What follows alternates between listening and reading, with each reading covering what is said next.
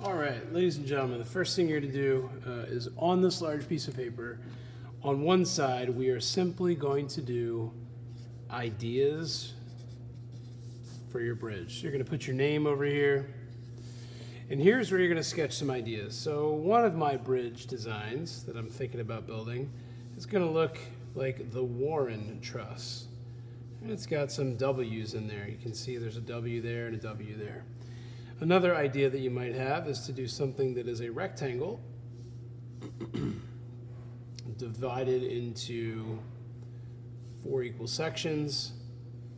Something like this might be an idea. Maybe you have an idea to do something like the A truss, although I would warn you that these are a little tough to do with popsicle sticks uh, because of the length.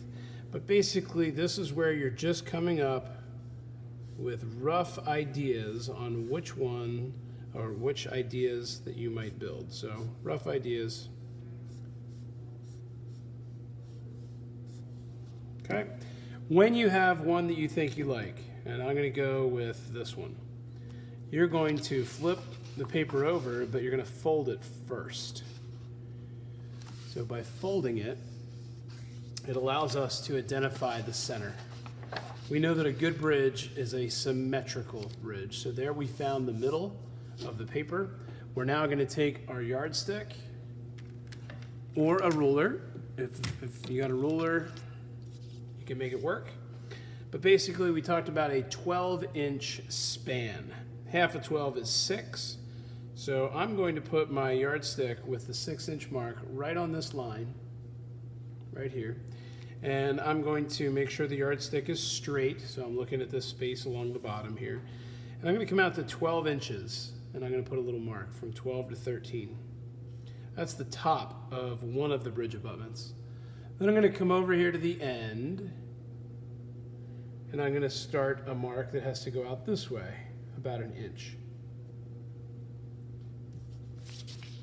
These are bridge abutments. They are what is holding up the bridge. I'll just color those in so they're easily seen. And the distance that we have between the bridge abutments is 12 inches. 12 inches, and that's also known as the span. 12 inches from one side to the other. Now we can work on laying out exactly how we want our project to look. So we know that the bridge has to sit on top of the abutments, not in between. So we're gonna go on top of these bridge abutments. And we're gonna lay out some popsicle sticks just to get an idea of how this is all gonna work. And then I'm gonna draw the bottom beam. Now we said the length of your uh, bridge has to be 13 to 15 inches long. So that's the bottom beam made up of popsicle sticks. We're going to double check the length here. But if we made a solid beam of popsicle sticks glued together, it would be 14 inches long. That's perfect. That's right between 13 and 15. So you can imagine then that this gets filled in with popsicle sticks, something like this, like this, although we can see we fell short there, so maybe we'll have to spread that gap out. And then we might have to cover with another one like that. So there's our lower chord or lower beam. Now, we then are going to go up and over. However, if we go up like this and then over at an angle, we realize that the top has to come down depending on this angle. So one of the things I like to do is use a triangle if you have one available. So you can use a 45 degree or a 30, 60, 90. Um, this just helps you get more accurate angles. So what I'm going to do is I'm going to take this 45 degree triangle and I'm going to draw some lines. I'm going to use a pencil actually. I know it's tough to see there on the camera, but I'm going to draw these lines longer than they need to be. Space them out about the width of a popsicle stick. I'm lining it up along the bottom here just to keep it square. And now I could take a popsicle stick and lay it in there and say, okay, if I'm gonna glue that together like that, this is gonna end right about there. Okay, can flip this over and I can replicate that same thing on this side. Again, symmetry is key. So something like that, again, we'll make it the space of a popsicle stick. Lay a popsicle stick in there. Something like that. Okay. Then I can just take a straight line across the top of where I plan on putting my top beam. And this stuff we could erase because that was just there as a guide. And because it's tough to see, I'll go back and just use my Sharpie here. So we're gonna build that out of some popsicle sticks. And that, and I think you're starting to see the frame of this truss. We're gonna put one in the middle, nice and straight right down that uh, symmetry line. And then we're gonna put one in between here as well. Again, this is just my idea. You can do it however you want. Uh, this top space is, let's see, about three and a half. Well, half of three inches is one and a half, and half of a half is a quarter. So that would be one and three quarters. So that's about the middle there. Come out the same distance on this side like that. And then from there, I'm gonna drop a vertical popsicle stick.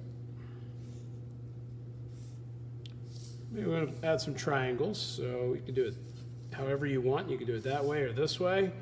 I'm going to go right in the middle of this angle and add popsicle stick in there.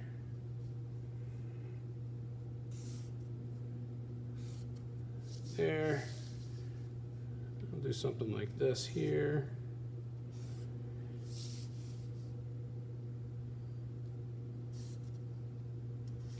And now you can see clearly how I'm going to build this.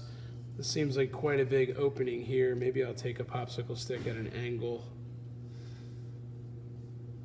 Maybe something like this.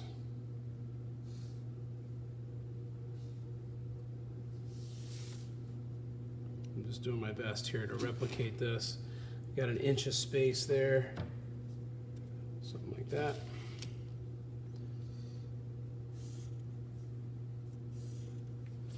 So there we have a truss. And that is our design that we're going to build for this demonstration.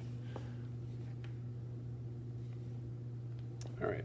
What we can also do is get an idea of popsicle sticks here. We know we're going to use,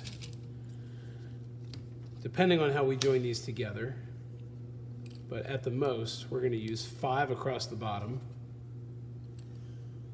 We're going to use one there, one there. That's, I think we're up to seven. 8, 9, 10, 11, 12, 13, 14, 15, 16, 17, 18. So 18, and I have to make two of these because this bridge has two trusses. So 18 and 18 is 36. That is great because my maximum is 60. So I have plenty of popsicle sticks left to join the two sides together with some kind of structure up top and a load bearing structure on the bottom.